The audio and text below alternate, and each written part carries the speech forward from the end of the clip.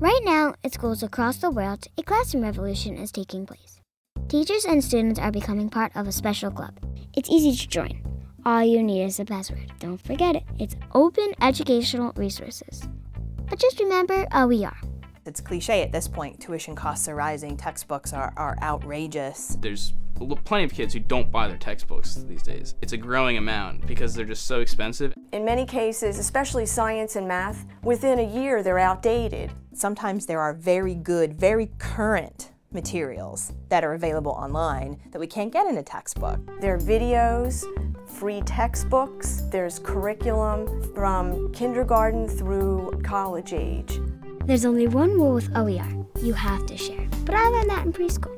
Teachers are creating OER and sharing them with kids all over the world, not just in America. Here in the States, we're trying to develop a course that specializes in tropical medicine.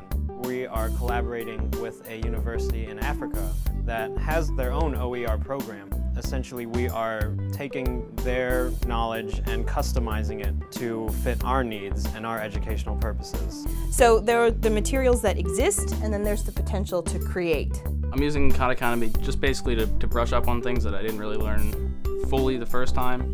Not only does it teach you new subjects, but it allows you to learn subjects again. It gives me that ability to at least touch on the subject that I enjoy.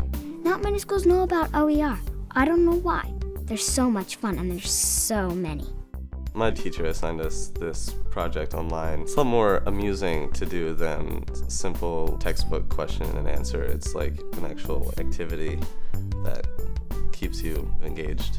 There's something about the interaction for many students. This is created by, used by educators for educational purposes. Not simply to say, oh, let's make a game about molecules, won't that be fun? It's let's make a game about molecules that teaches our students something that we seem to not be able to get in the classroom. I love books. I think books are fantastic, but we are not going to see paper the way that we used to. I can access it from my phone, I can access it when I'm at work on a break, or I'm on the bus on the way to school, or whatever it is.